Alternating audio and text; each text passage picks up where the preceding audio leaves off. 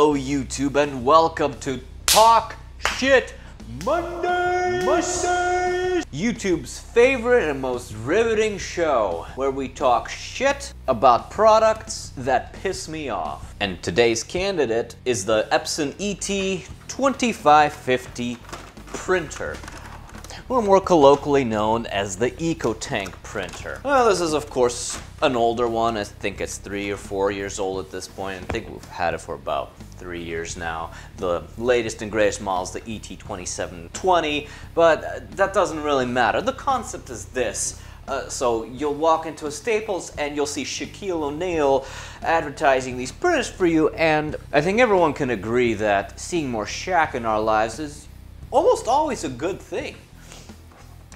But with this one, I'm going to have to disagree with Shaq. I would not have endorsed this product, probably because he has never used one for an extended period of time anymore. The concept is simple. It's an inkjet printer, much like many others. Except this one has what they call the Eco Tank, which means the following. You can refill these with ink bottle ad nauseum. Do it as much as you like. And in theory, this could save you money because you're not buying an inkjet cartridge every time it's time to replace the ink. And inkjet printers have been around a long time. 20 years, 30 years, probably more as a technology. But we as the consumer, as far as I know, have only been putting up for 20, 30 years. That means for the last 30 years, we've also been putting up with bullshit like inkjet cartridges. So if there was ever any opportunity for a company to step in and be a hero and say, no more $30 inkjet cartridges. From now on, refillable tanks for everyone. Now's the time.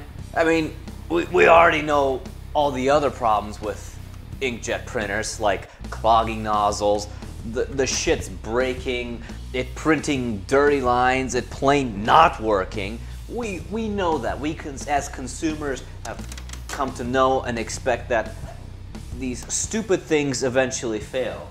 In contrast, the Xerox printer behind me is a LaserJet printer. And it's old. I mean, old. It's easily over 10 years old. And it still prints. Wonderful. Knock on wood. My malfunction begins with the fact that this printer is now unusable for me. And here's why. One day, when trying to use the printer, a little notification popped up and said that the ink pad in the back needs replacing and that you cannot print until it is replaced. Now the ink pad in the back is just something that absorbs excess ink when it cleans the, the ink nozzles in the printer. So waste ink goes into this pad and gets absorbed. Eventually it becomes saturated and needs replacement. Sounds simple. You could probably order one off of Bizarro Chinese eBay for like 10 or 20 bucks. And the procedure to replace it is probably fairly straightforward. The problem is that even after you replace the said ink pad, you still have an error. It still says ink pad needs replacing. Aha, so all I really have to do is go to the software and erase the code that tells uh, the printer that the ink pad needs replacing. Except you can't do that. Epson has a software they give to customers. They also have their own service, uh, software that they give to their technicians. And the idea is this. According to Epson, they limit the lifetime of certain parts in the printer. They limit them by their calculated lifespan and therefore they tell you it's for your own safety that they disable the printer for you. Now the way you fix it is you are supposed to take this whole fucking thing and send it to Epson for repairs. But in full disclosure, on Epson's own website, they say, we understand that for some of our lower cost printers, such as probably this one, the cost of repairs doesn't make sense because we're talking shipping, to and from the, the facility, plus repair cost, plus parts cost. You can see how these numbers could easily probably add up way over a $100. And so, in their own words, they're basically implying that it might make more sense for you to just buy a new fucking printer. Let that sink in for a moment. Rather than let you repair a printer, which basically amounts to a $20 pad in the back, which I think any average person could do. They instead want you to go out to the store and spend two, three hundred dollars all over again. Instead of, instead of letting you repair the damn thing. Now, I have it on pretty good authority that this software has leaked its way onto the internet and people have used it. I've seen it on YouTube.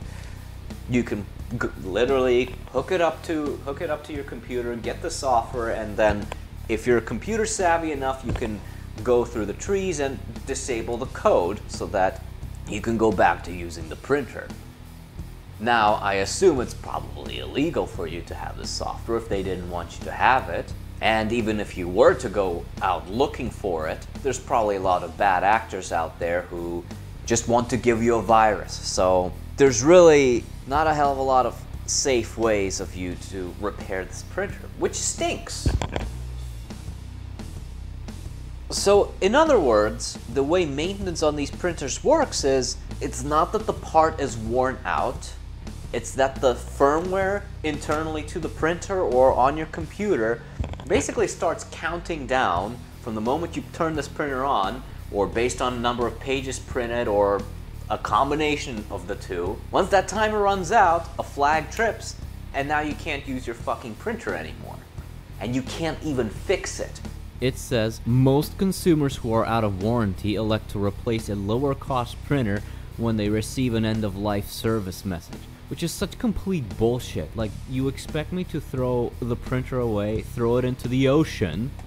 I'm sure somewhere on this website, if I poke around long enough, I can find their statement about, oh, we're, going green.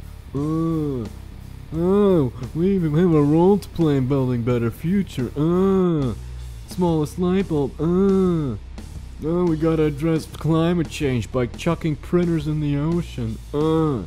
Now, I'm sure, of course, somewhere else on the website they say we want to we want you to recycle your printers, but who the fuck has the time to do that? Just build a better product, and then people don't have to keep buying the same old shit over and over again. It's that simple.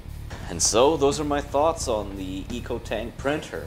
I mean, we all know that companies build planned obsolescence into shit these days. That's just what we have to put up with as consumers. And I'm sure some pencil neck bean counter executive at Epson thought, shit, how do we make more money?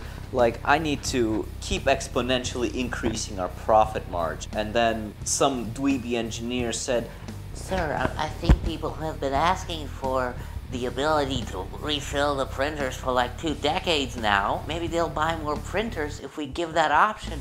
He said, That's a great idea, Johnson, but I have a better one.